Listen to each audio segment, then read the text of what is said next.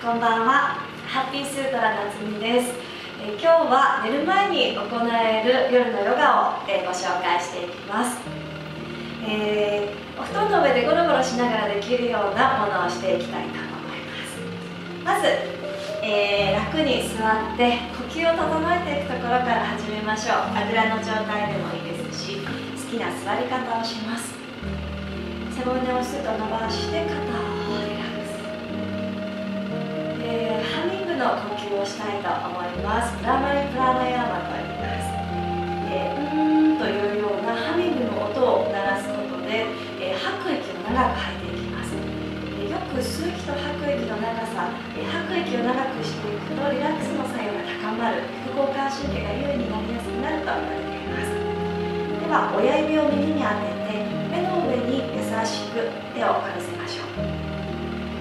鼻からたっぷり息を吸って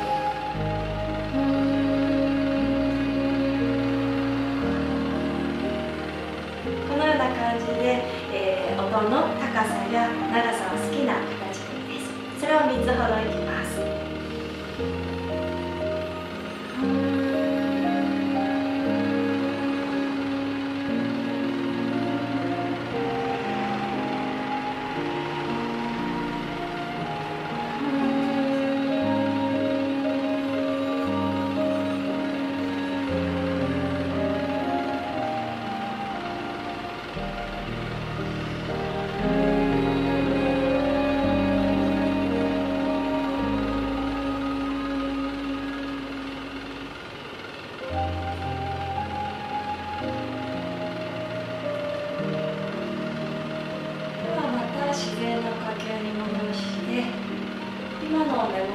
口元肩右に曲げたふわりと緩めます。ここで1つ大きな深呼吸をしましょう鼻からたっぷり息を吸って吐く息でふわり背中を丸めていき頭を下へ下ろしましょうそこから上半身の重みを感じて前後にゆらゆら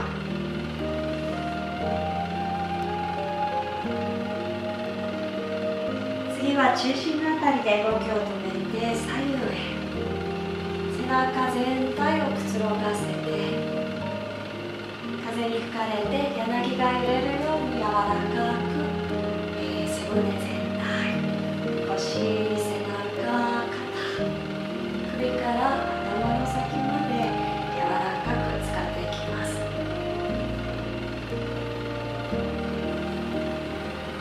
中央の辺りで一度動きを止めていきましょう。そこからもう一度スッと背骨を伸ばして顔が正面。ここで鼻から息を吸って耳と肩をぎゅっと寄せて吐く息でストップ楽に下げましょうではここから仰向けで転がっていきます。軽く両膝を立てるところから行いましょう。足はだいたい腰幅程度にして左右、え平行に整えておきます。両手で床を触りましょう。背骨の動きを作っていきますが肩周り背中周りが楽につくところを探してみてください。ではそこからまず尾てい骨を内巻きにキュッとするような感じでお尻の一番下の方から出ていきます。背骨一つ一つを使う意識でゆっくり腰そして背中。背中の上。部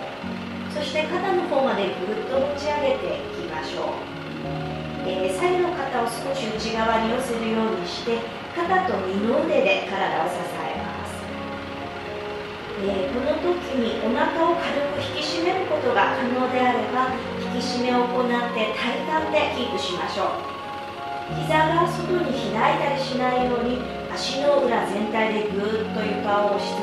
けて太ももの内側まで引き締めるような姿勢を作ります。セーツバンダーサナ足のポーズ。自然な呼吸でいくつか呼吸を入れていきます。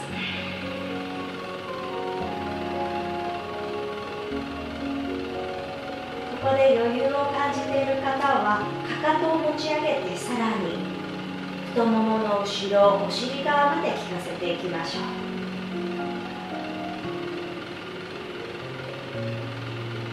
ではそこから背中の上から一つ一つ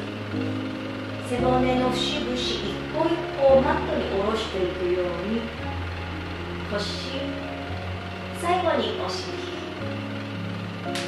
もう一度軽くいきます。お尻の下からくっと持ち上げて順番に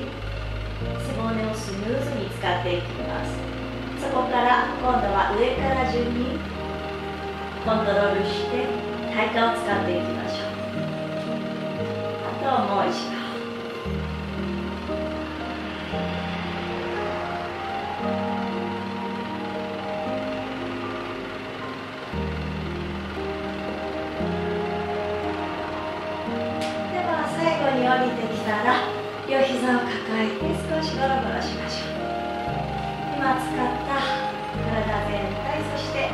中腰を癒すように変わります。ではそこから右の膝を抱えてねじりのポーズいきましょう。左手でキャッチ右手を外鼻から吸って吐く息膝をゴロンと。左側視線を右の方に向けましょう。肩が床に近づけられそうであればぐっと下ろすようにしてツイストを深めます。スクタマツイレンドラーサナねじりのポーズで体全体をストレッチ緩めていきます。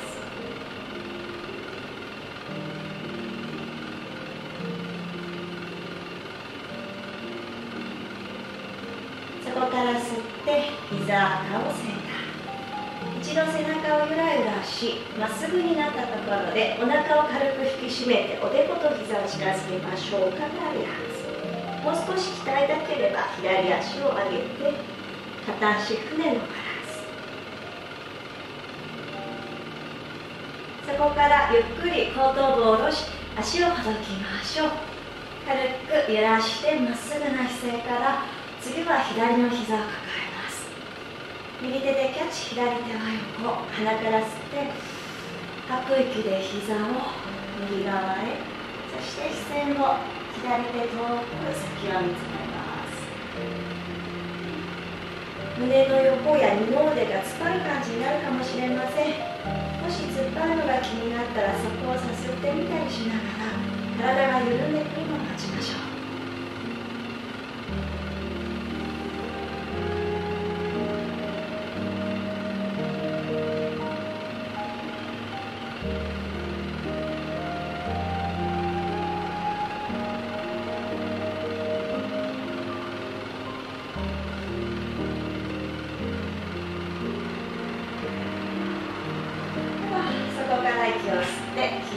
顔真ん中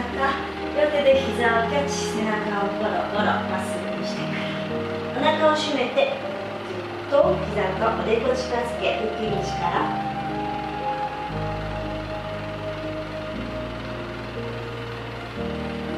では後頭部を下ろしてもう一度膝を抱えてゴロゴロ。右手で右の膝左手で左の膝をキャッチして。股関節をほぐすように回しましょう。逆回転もします。ではゆっくり動きを止めて最後はそのままシャバーサナ足幅を広げて肩リラックス。脇にゆとりを分けて手のひらを